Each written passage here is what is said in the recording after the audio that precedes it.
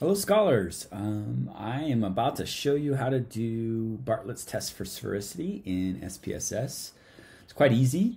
Um, just couldn't remember how to do it in class. So here we go. All right, so we have our data set. Um, and really what we're, we're trying to do is we're testing for linearity. Our first test was a bivariate correlation, and we're looking for significant correlation among our dependent variables um, but not too significant, I guess is you know one way of saying it. So we want to maintain that coefficient value under uh, 0.8, but still be significant.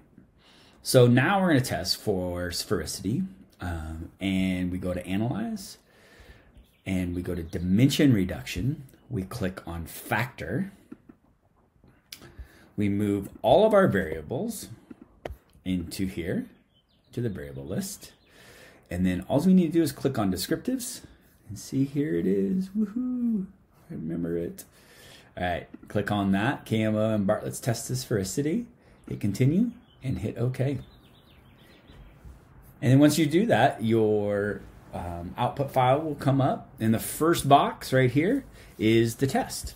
So the KMO, you don't need to, that's actually having to do with factor analysis. But for um, sphericity, we have Bartlett's test of sphericity. Um, remember, we want it to be significant. So we want them to be similarly or linearly related. So anything that's less than 0.05 means that we meet the assumption of linearity.